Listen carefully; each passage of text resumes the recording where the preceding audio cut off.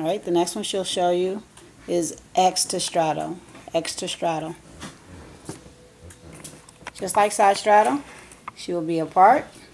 This time she'll, instead of together, she'll cross her legs. Apart, cross the legs. Apart, cross the legs. Okay, let's see how it's done fastly. And she's alternating legs. You don't have to alternate legs though. You can keep it the same.